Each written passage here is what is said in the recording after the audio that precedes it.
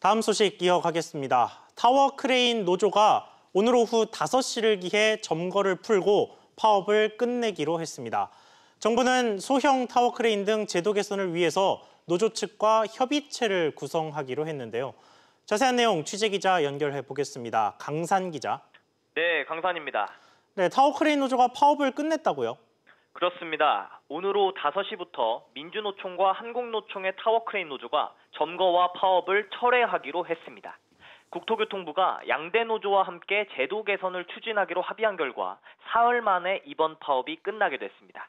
국토부는 타워크레인 노조가 요구한 소형 타워크레인 사용 금지와 관련해 노사민정 협의체를 구성해 제도 개선 방안을 추진하기로 했다고 밝혔는데요. 앞으로 구성될 협의체에는 양대 노총 산하 크레인 노조와 시민 단체, 타워 크레인 사업자, 그리고 건설 단체 관련 인사 등이 포함됩니다. 국토부는 지난 3월부터 민관 협의체를 통해 소형 타워 크레인 안전 강화 조치를 논의 검토해 왔다고 밝혔습니다.